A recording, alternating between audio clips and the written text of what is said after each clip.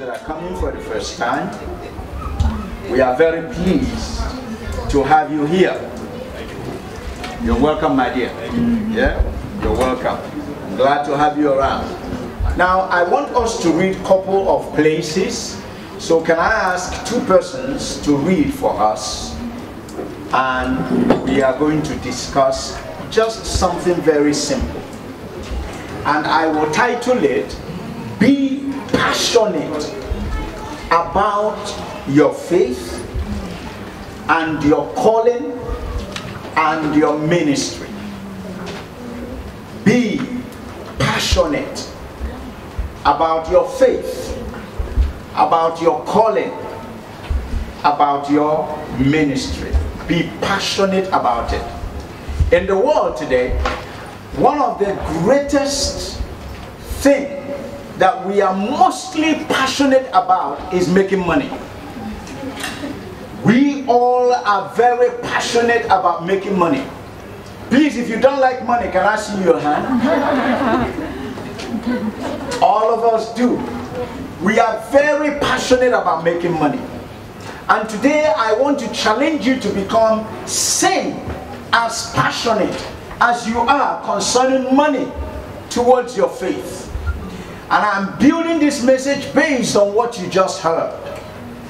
This is because the earth we are living in is entering a new phase. Watch what's going to happen by the time the war with Ukraine and Russia comes to an end. And then watch how the financial crisis will follow. And then watch how the food crisis will follow. And then you will realize the importance of your faith and your calling. It is now that you establish your faith and make your faith strong. Last night, when I was preaching to some other group of people, I spoke about having zeal. The word zeal is taken from the meaning to be highly persuaded, instigated highly within you to pursue something.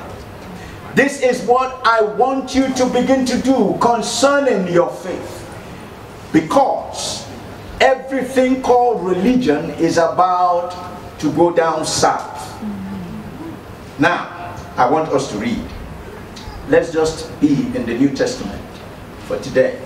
Hallelujah. Hallelujah. Can somebody read for us Colossians chapter 4, verse number 17? You have a strong voice. You want to get the mic and read for us. Colossians chapter 4, verse number 17.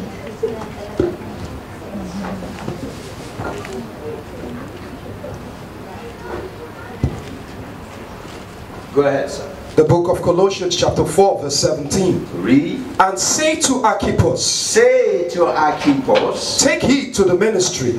Take heed to the ministry. Which you have received in the Lord. Which you have received in the Lord. That you may fulfill it. That thou fulfill it.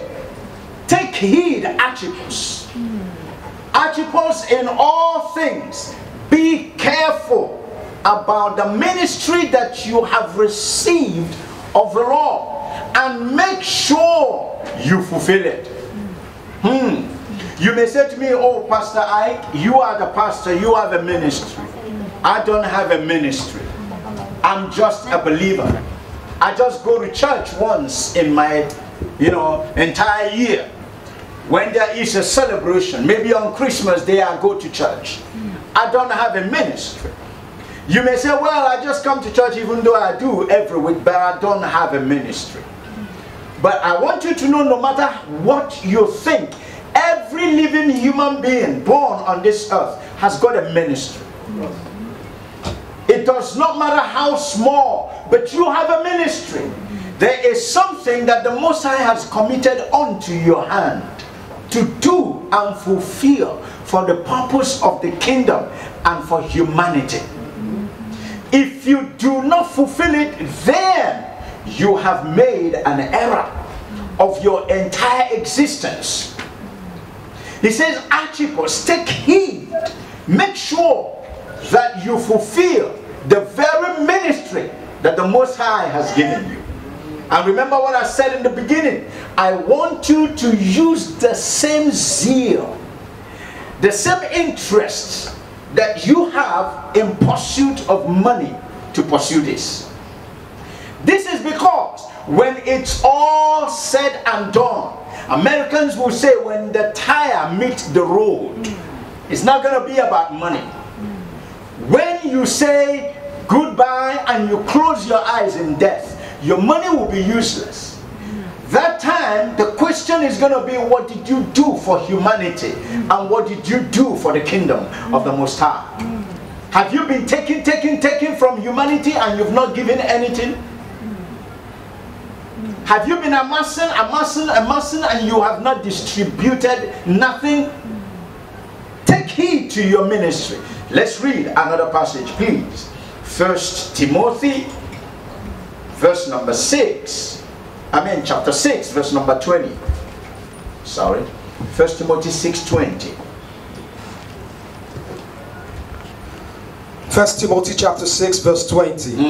O Timothy, Oh Timothy, God what has com- was committed to your trust, keep that which has been committed to your trust. avoiding the profane, Avoid profane idle babblings, and idle, vain babblings and contradictions and the oppositions or contradictions of what is falsely called knowledge, of science, falsely so called. Another translation calls it science. Hmm. In the past three years, the mantra had been trust the science, hmm. trust the science, hmm. trust the science.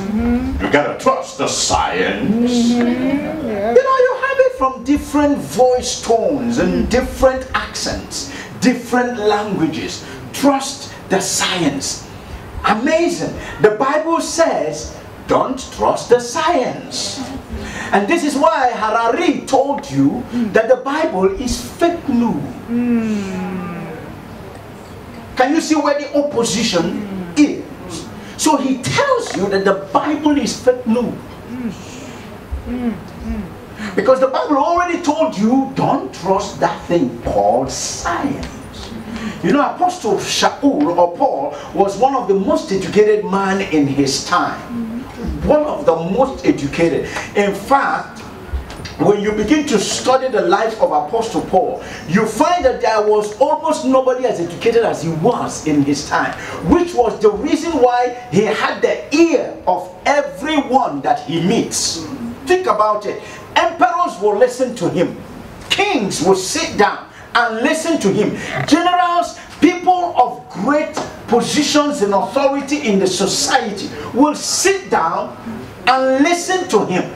The man could speak most of the languages of his days in the Near East, or what was called Northeast Africa, that is now called Middle East.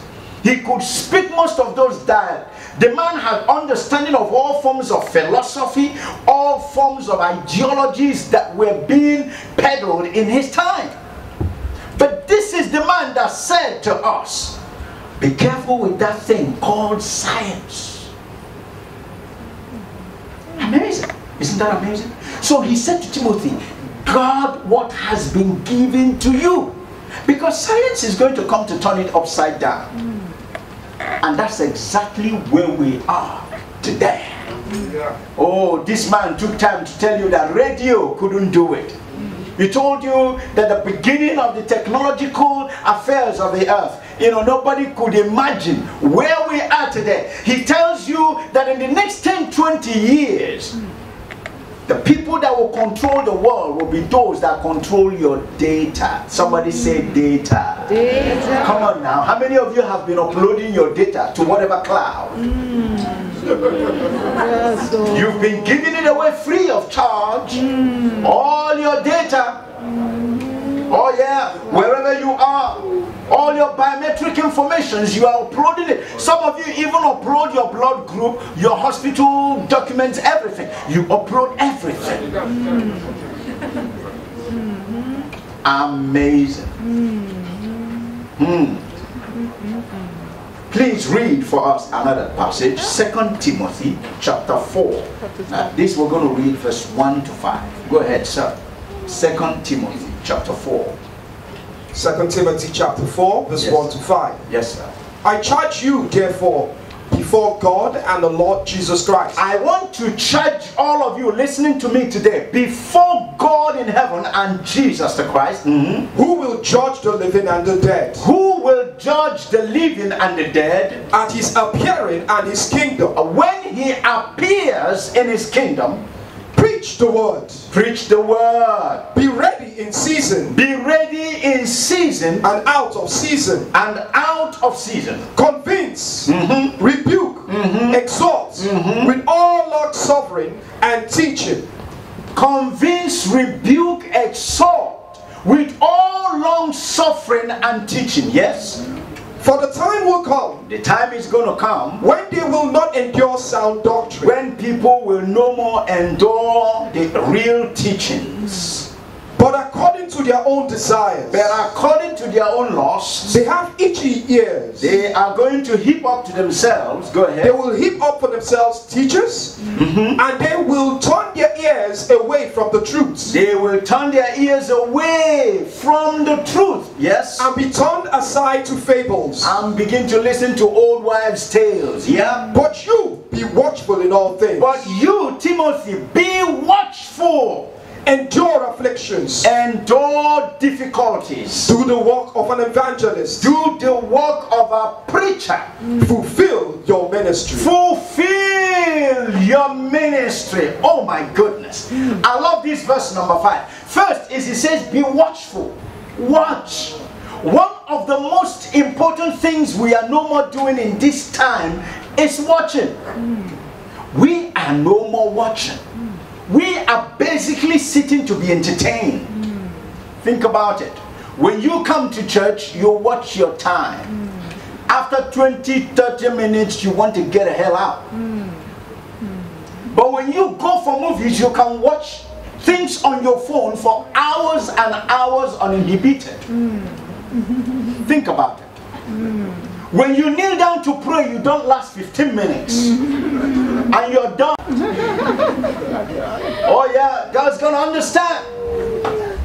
But you can go for any other party and be there hours untold. So he says, be watchful. Why must you be watchful? Now, if you are partaking in our prophetic studies that we are doing, you realize that watching is an important key for life. Because only a man that is watchful will see what others will not see. Think about it. If this man Harari did not come out to say certain things openly, if I'm the one telling it to you, you will say, Oh, these preachers. These preachers, they just talk anyhow. But lo and behold, he's not a preacher. He hates you, he hates the Bible, he hates God, He calls God fake news. And then he tells you exactly what the Bible said 4,000 years ago. Mm. Or rather, 4,000 years before Christ. Mm. Forgive me. That it will be happening. Mm. I told you about some of the books that you can read and be shocked. Like the book of Ptahotep. You will be shocked. Books written 5,000 years before Jesus. We're talking about the same things that the Bible said will happen.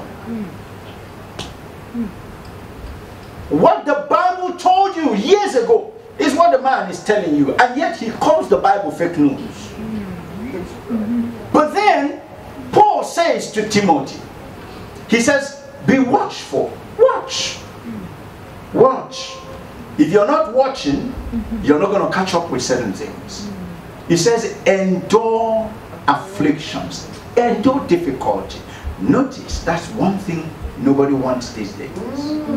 Nobody wants nothing difficult. If you want food, you go to McDonald's. Right? Wait, wait, wait, wait, wait, wait.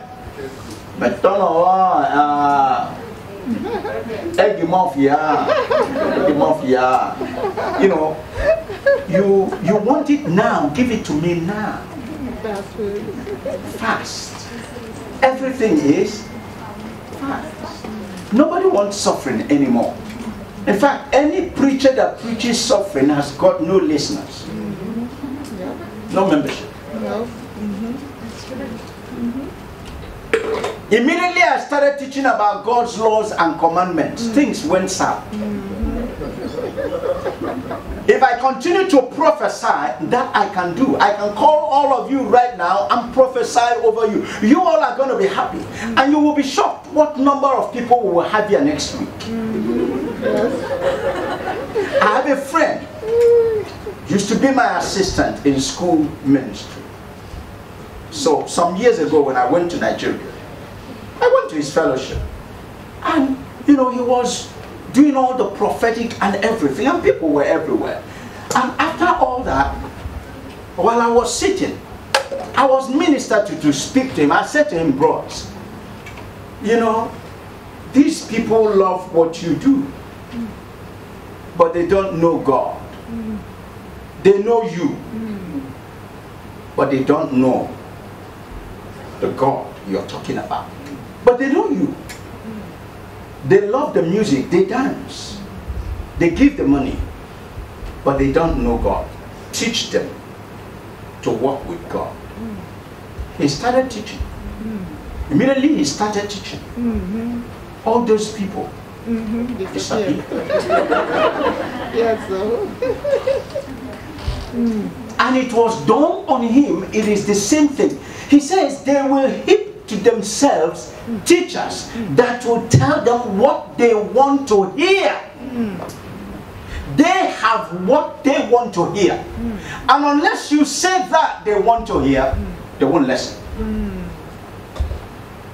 But he says, Timothy, be watchful. And I say to all of you here today, be watchful. Read another place for us, sir. We have two more places to read and we are done because I told you I won't preach long. First Timothy chapter 4. Notice that we're reading just Colossians and Timothy alone. First Timothy chapter 4, 14 to 16.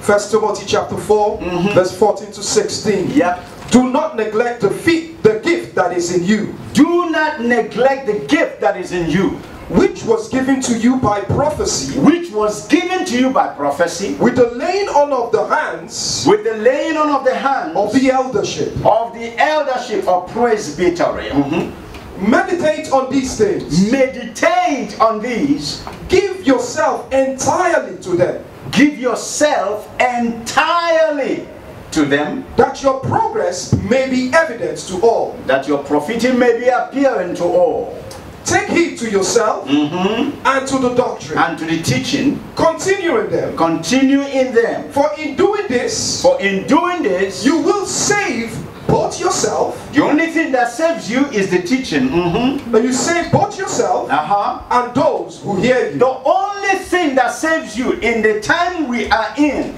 is the true teaching. That's the only thing that will save you. It's not going to be money, it's not going to be house, it's not going to be anything but the true word. So he says, do not neglect the gift that is in you. Now, let me also deal with that.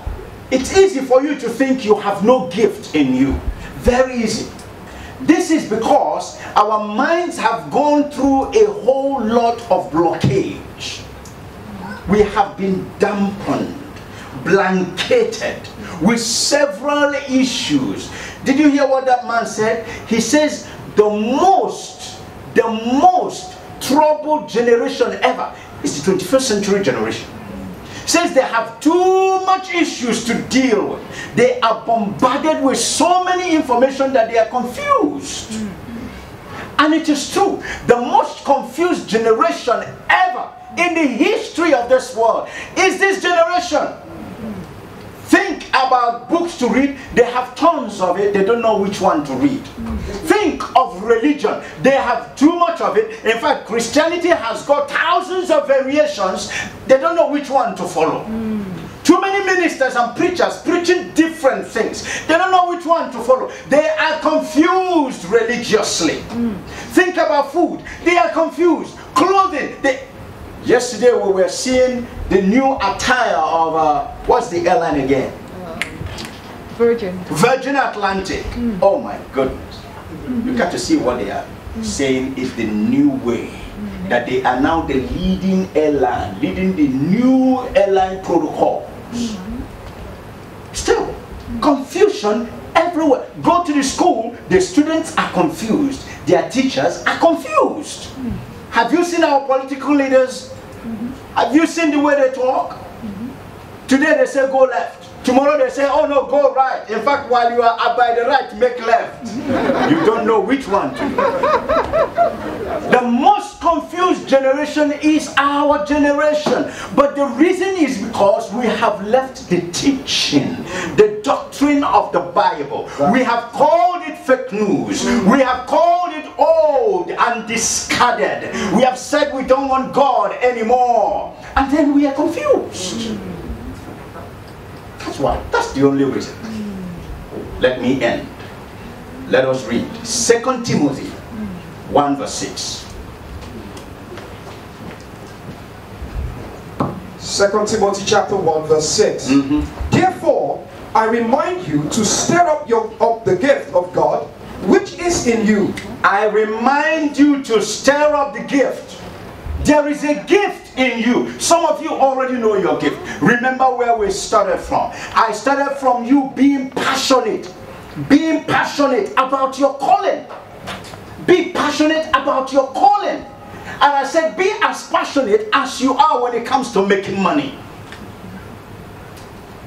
As passionate as you are, uh, let it not just be about we, the preachers. You know, I was in Cambodia sometime, some years ago, and the preacher, we were sitting, and all of a sudden somebody walked in. And while we were talking, the man was talking about how much he's made. And the preacher said, Old boy, you know, you came here for greener pasture. But I did not come here for greener pasture. I came here for greener heaven. we all laughed. It didn't make sense that time. But I realize when you meet people that love God, they make money and put it back in the kingdom. Hallelujah. Hallelujah. It's an amazing thing. It's a crazy thing, actually.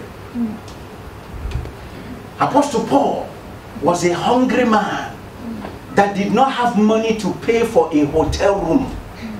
But the one that they will send to him, he will use to pay for other people's problems and sleep by the wayside.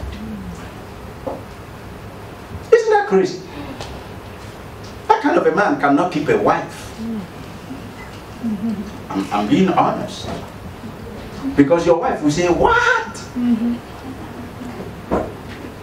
You get what I mean? Yeah. But because the man was sold to the kingdom, everything he was doing was about the kingdom. Am I saying be like that? Oh no. That's not what I'm saying. But I'm saying, look at what Paul is saying.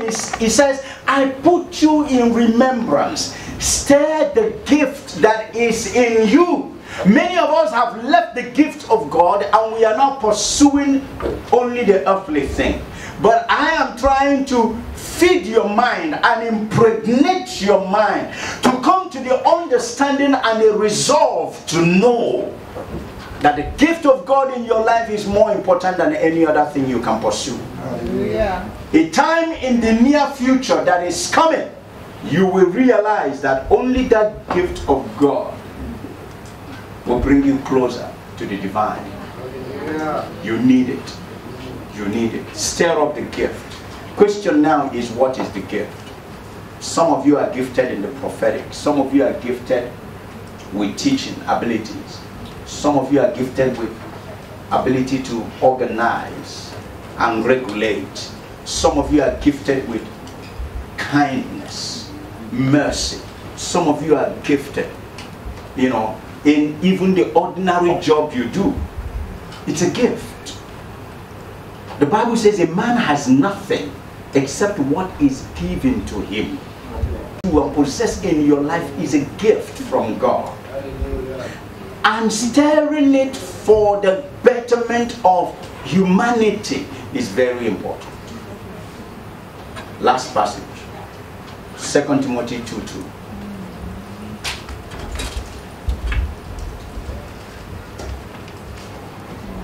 Second Timothy 2 2. chapter 2 verse 2. Yeah. And the things that you have heard from me among many witnesses, The things that you have heard from me in the hearing of many witnesses, commit these to faithful men don't swallow it and sit on it. Tell others about it. who will be able to teach others also. The people you must tell are not those that will be selfish and just keep it to themselves, but people that will share it with others. The reason why we are able to have the gospel today is because those 12 men sold out themselves and went everywhere communicating what they heard from the Messiah. If those 12 men became so selfish and said, we're just going to do it amongst our people only, then we wouldn't have it going around the world. But Jesus says, start from Jerusalem. You know, we always say Jerusalem is your family, your home, but that's not true. These men were all Judeans, in fact, many of them from Nazareth. But Jerusalem was the largest city of their time in their country. So Jesus says, start from where it's going to make the loudest noise and begin to go to different other places. In other words, make the loudest noise as much as you can. So I love it when some ministers, Reverend Omoba in those days, when he wants to go for evangelistic crusade, he wants to get thousands and thousands of people. And then in our missions group, in our missions ministry, I always ask you when you talk about opening a church, starting a new church, I ask, are there people there? Yeah. I want to have human beings. I don't want the church to go and be in the middle of forest. Hallelujah. And then it becomes where two or three are gathered. I know that he will be there. He's even where nobody can see. He's everywhere. But we want it where we're going to have more people affected. Jesus says, start from Jerusalem. Make the loudest of noise. Hallelujah. Make the go to the city. You know, when I went with Ben, see Ben, to where we had crusade in Sierra Leone, when we arrived, even in Manila, when we arrived, he looked at the place, he said, Ah, Pastor, this place is small. I said, Eh? He said, This place is small. I said, Really? He said, I, I like it if you can get 10,000 people. I said, 10,000. He said, Yes. I said, That's good. But let us start with this one. We are here. I like the way he wants to see more people. He will say to me, you know, there is anointing in numbers. Numbers will move anointing. I said, hallelujah. Evangelist wants to see people. Why? Because people is the game. People is the thing. Can you imagine if Jesus left heavens where you have uncountable number of angels in different sizes and abilities, great and mighty beings, so great you can't imagine. The Bible says these things are beyond imagination. Have you not read it in the Bible? It says, Eye has not seen, ear has not heard, neither has it gone into the imagination of man. What is reserved up there? You think you have seen anything? You've seen nothing. These things, Jesus left them and came and died for people. People! How important are you? How important can you imagine you are? I charge you, therefore, as Paul said to Timothy, you must fulfill your ministry. You must fulfill your calling. Don't let that devil stop you from fulfilling your calling because your calling is more important than any other thing. Hallelujah. From next year going, you will see our world begin to turn into some different kind of stuff. But let not your heart be troubled. Don't let your heart be troubled, neither let it be afraid. Why? He that is in you is greater, mightier, more powerful than he that is in the world. People are going to be seeing devils. Course, if you know about CERN, you know that they are perfecting their own game in Switzerland area. So things are going to be happening. Aliens, the man told you that alien presence will become normal. So you're going to be seeing apparitions. This is not Prophet Iyke telling you. this is a scientist that knows what they have already achieved. Speaking emphatically.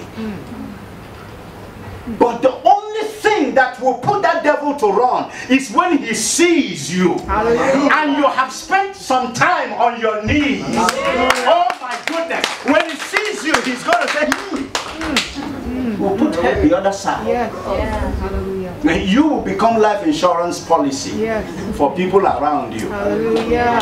That's why you must learn to pray. Tell your neighbor, neighbor, you must learn to pray.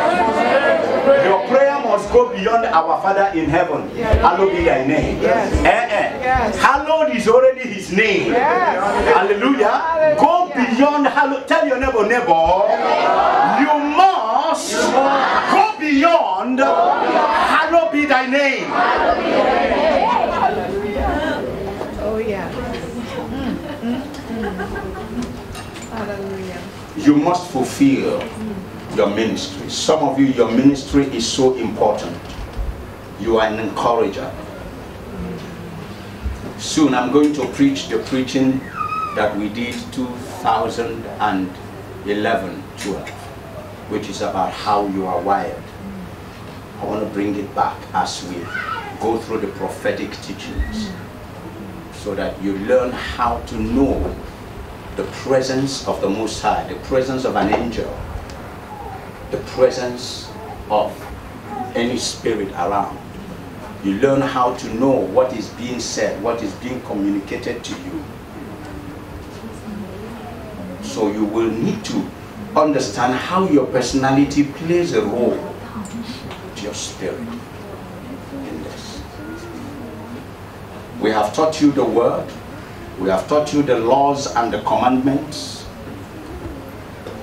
Now, we are going into walking with God.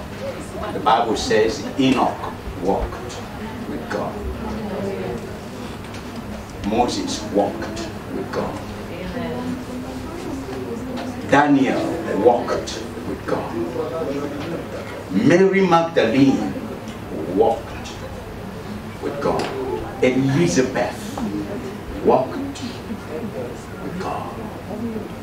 And you that have been hearing me, you must walk with God. Can you lift your hands and say, I, and put your name there? And David said, I shall surely walk with God in my generation. I will walk with God in the presence of people around me. I will walk with God and be testimony to the heavens. I will walk with God and bring a change to my community. I will walk with God and walk into His glory. Walk into his glory. In Jesus' name. In Jesus' name. We say hallelujah. Amen.